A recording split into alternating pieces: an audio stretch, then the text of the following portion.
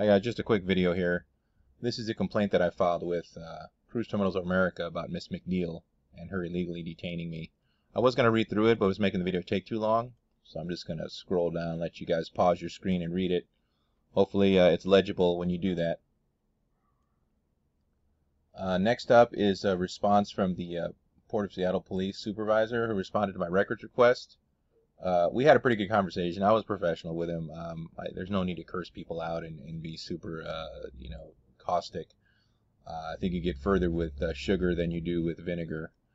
But uh, anyway, this is the complaint that I filed about the officer. It just was a difference of opinion about him saying that, you know, yeah, you can record in public, but not if it starts covering uh, security issues. Um, even though he never said I couldn't record, he just was saying it was of concern, and that was the point that the the supervisor made, and I agree with that. It's fine. But yeah, lo and behold, yours truly, he did indeed uh, snap a picture of me. Um, at the end of the video, when I panned back, he was putting a phone in his pocket. I had a feeling that's what he had done, and so there it is.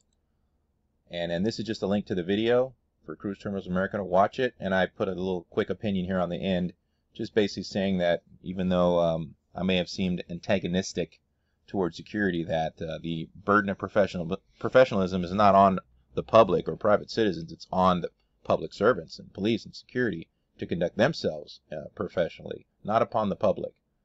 And then finally was the actual 911 call. Uh, I guess it comes out like as, as an incident report. And um, the address, uh, it went in as a disturbance in progress.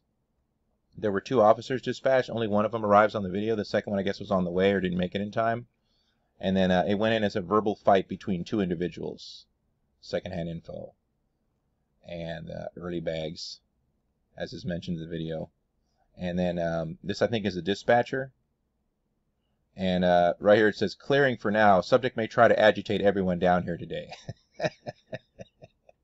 uh, that was entertaining. I mean, I, didn't see it that way. I felt like uh, I was accosted by aggressive security officers. But uh, okay, whatever. So there it is, guys. Appreciate it. This is a short follow-up. I'm also waiting for the actual 911 call so I can play the audio and see what it was being called in as. All right, thank you.